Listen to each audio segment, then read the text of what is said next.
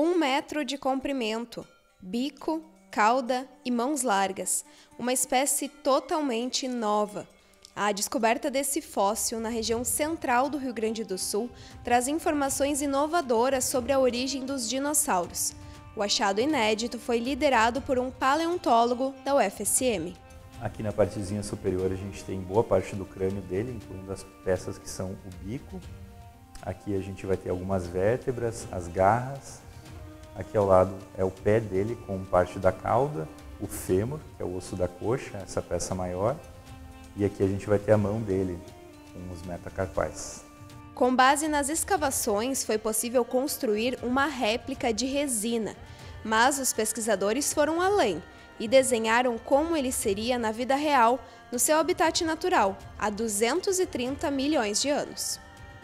O Venetoraptor ele tinha aproximadamente um metro de comprimento, né, da ponta do bico até a ponta da cauda. Uh, ele tinha esse bico raptorial que lembra as aves de rapina. Uh, ele andava de forma bípede, então as mãos eram livres e uma das características mais interessantes é que a mão dele era muito grande, então ele tinha garras bem desenvolvidas que poderiam servir para subir em árvores ou até manusear presas, né? a gente não sabe bem ao certo ainda. O pequeno réptil pertence a um grupo chamado Lagerpetidius, ou seja, não é um dinossauro, mas é o parente mais próximo dos pterossauros, que eram voadores. Venetoraptor gasseni, esse é o nome que a espécie recebeu.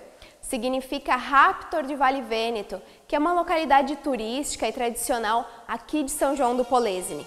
Gasseni é uma homenagem à Valserina Gassen, uma das principais apoiadoras e fundadoras do local onde hoje está o fóssil, o Centro de Apoio à Pesquisa Paleontológica da UFSM, o CAPA.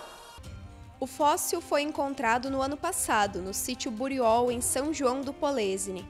A área é rica em fósseis, mas a descoberta foi por acaso.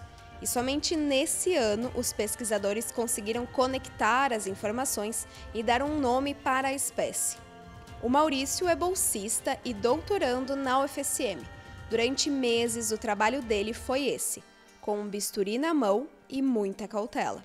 A gente pode retirar é, com a mão mesmo, trazer para o laboratório uh, de forma segura e fazer a preparação, né? retirar a rocha, uh, expor o material por completo para poder visualizar toda a anatomia dele. Então a gente tem a descoberta, a coleta, a preparação e depois a gente começa daí a fazer a pesquisa, a estudar o material. Né? O trabalho foi parar na Nature, a mais importante revista científica do mundo publicar na Nature é um sonho né, de qualquer pesquisador. Uh, então a gente conseguiu isso em meio a todas as dificuldades que a ciência brasileira já vem uh, enfrentando. Então a gente está muito orgulhoso disso e mostra que a pesquisa feita no Brasil e na UFSM está em um nível muito elevado. Né? Qualquer pessoa pode visitar o fóssil. Hoje o CAPA tem cerca de mil peças. Cada cantinho conta uma história sobre a evolução da vida e desses seres que habitaram o nosso planeta há milhões de anos.